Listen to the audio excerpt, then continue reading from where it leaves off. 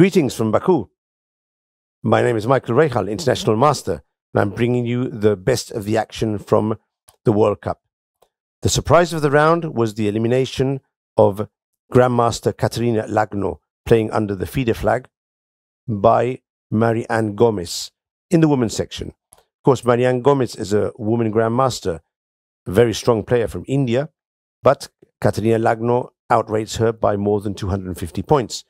So clearly, it was the surprise of the round, this elimination. The key moment of the two game mini match was when Kateryna made a huge blunder, and that would mean her elimination from the tournament. Look at the position on the on the board in the diagram.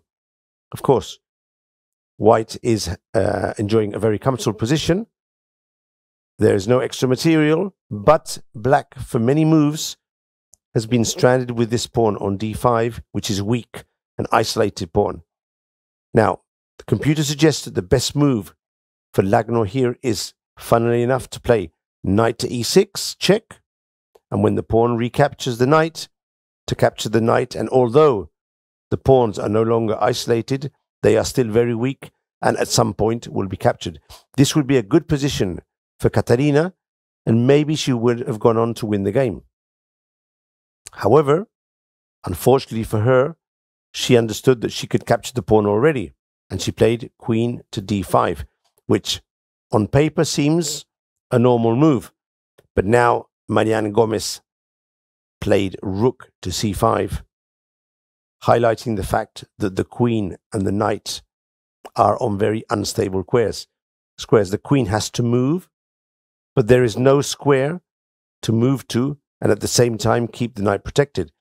So, in fact, she loses a piece, and this meant her elimination from the tournament. She did play knight to e6, sacrificing the piece. Very important to notice that if rook takes queen, then queen, then rook takes queen. I have to assume that she didn't see rook to c5, although it's possible that she did see it and thought that knight e6 was a good counter, but it's just not enough after the, the exchanges, she is just a full piece down.